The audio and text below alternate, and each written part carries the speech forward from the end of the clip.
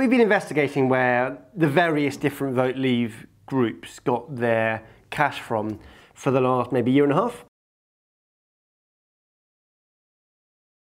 In a sense, we don't know the answer. There's lots of these different threads you follow, whether it's the money the DUP got from somewhere that was about kind of nearly half a million pounds, or there's the question about Arron Banks and where Arron Banks really got all his money from. We showed that, you know, he probably isn't as rich as a lot of the claims about him make out. And so, you know, if it's not his money, then, then where did it come from?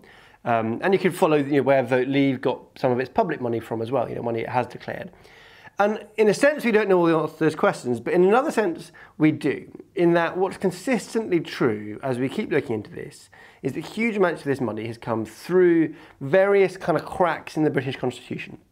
So most of those are crown protectorates like the Isle of Man, which Arron Banks is a key player or Gibraltar, which is a British overseas territory, which again Arron Banks is a very lot of involvement in, and, and various you know other donors and groups have used these various different gaps in the British Constitution. Of course, Northern Ireland is another example of that in a sense, to channel money into British politics. And for me, what that shows is that you know Britain, which is a kind of weird country, well, one of only four countries in the world without a written constitution, which means that the rulers of the country can basically make things up as they go along, and they can use this kind of network of tax havens we have. You know, we have the world's biggest and most important network of tax havens to launder their money through the country. And they were very keen, people experts in doing this were very keen to make sure that Brexit happened so they could continue to launder their money so the EU wouldn't regulate those spaces. And, you know, they were worried about the EU regulating it, so they pushed Britain further offshore. They funded a lot of this campaign. It seems to me quite clearly that for those people, that's what Brexit was about. I think it's really important to understand what we talk about when we talk about Russia in the modern world. And this isn't 1975. We're not in the middle of the Cold War. This isn't the Soviet Union.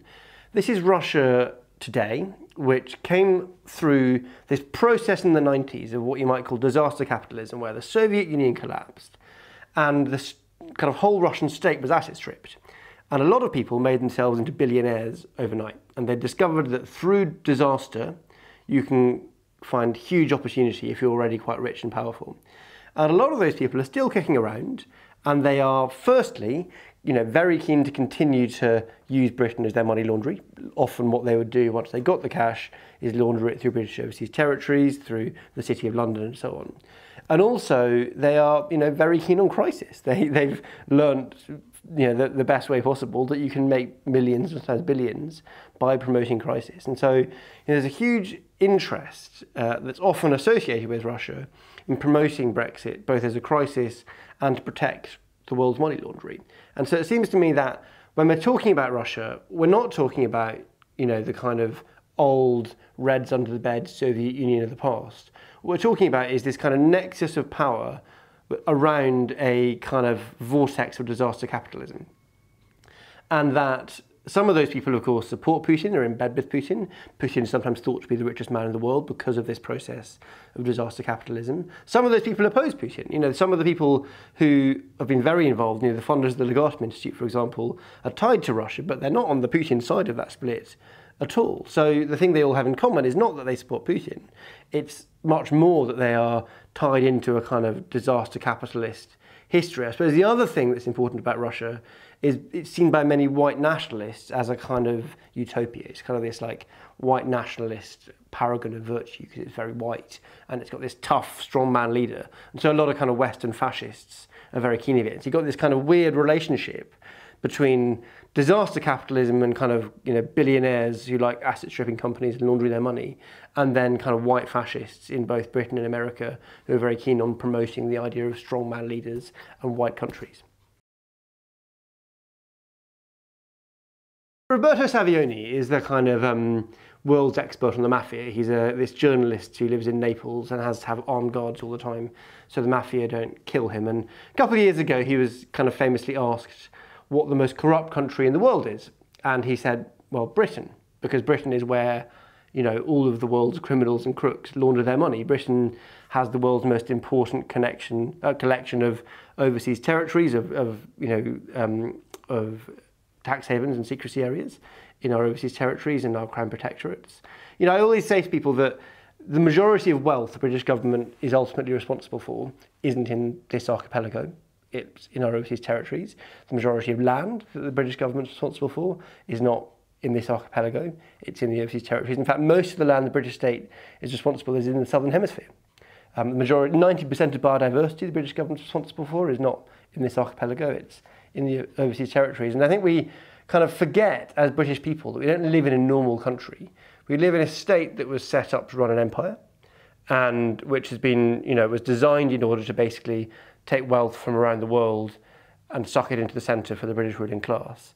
And what we've done is transform that land empire into this kind of financial empire with London at its centre and overseas territories around the world, which is the kind of most important network in the world for laundering. So, for example, when the Panama Papers came out, which people might remember were kind of revealed a whole lot of stuff about tax dodging. A lot of the headlines at the time were about sort of politicians in the global south who'd been corrupt and stolen all this money and so on.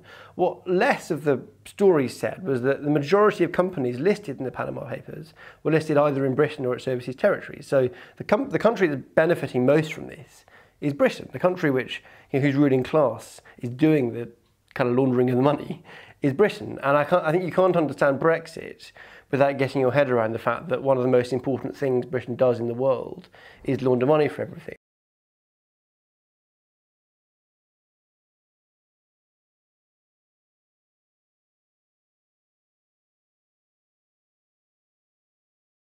Britain is now also the world's hub for mercenary companies. It's the kind of biggest centre for the privatised military in the world. So since the Iraq War, more and more of the kind of military uh, contracts in the world have gone rather than like, you know, to the army as it used to, or the air force or the navy, it's gone to a private company. And I always think that particularly with the Cambridge Analytica story, we often misunderstand what that's really about. Because Cambridge Analytica is a small branch of a much bigger company called SCL. And SCL, if you go onto its website, the first line of its website is that this is a defence contractor. This is a company that was set up uh, basically to take the kind of PSYOPs bit of military operation and take and privatise that. So they get the contracts now to do PSYOPs work around the world, which used to be done by the army. You know, the army got you know good at propaganda over you know the last 40, well, it's always done propaganda, but particularly over the last 40 years.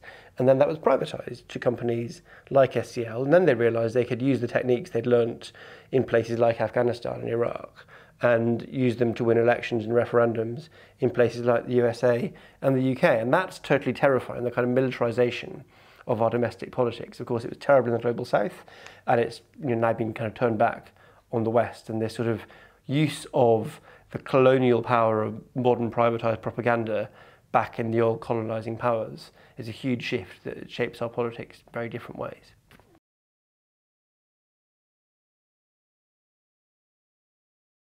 So I think we need to understand that Britain is not a normal country. It's not a normal democracy, and we need a process of sort of renewal where, you know, through I think probably a constitutional convention, we write the rules of British democracy or perhaps English democracy if Scotland and Northern Ireland and Wales want to make their own way um, and become a kind of normal modern country rather than this sort of weird empire state. The, uh, the Scottish journalist Neal Ascherson once said that you can no more get democratic socialism from the British state than milk from a vulture. And I think that's about right, you know, that we live in this kind of decaying empire. And what we need to do is have a process where we come together, we agree the new rules for a modern democracy that we want to be, that would probably not allow British overseas territories to be centres for money laundering, probably would have a sensible voting system, probably would devolve some of the power from Westminster. We have the most centralised state in the Western world, for example. And I think that you know there's lots of ways that we can achieve that, but too often campaigns on constitutional questions are atomised into individual issues, whether that's the House of Lords or demanding proportional representation or whatever it is. And what we really, really need to do is renew our democracy and you know come up with a new system. And hopefully in doing so, like we've seen in Ireland, where they had a constitutional convention, which led to the two referendums, both on very important issues in their own rights, on both abortion rights as more recently and the equal marriage referendum. But also in doing that, they renewed the whole country. They reinvented themselves in the world. And said, we're not this sort of Catholic backwater of Europe. We're a modern progressive nation now. And I think that England, particularly, you know, Scotland's been through a very positive referendum process in the last few years.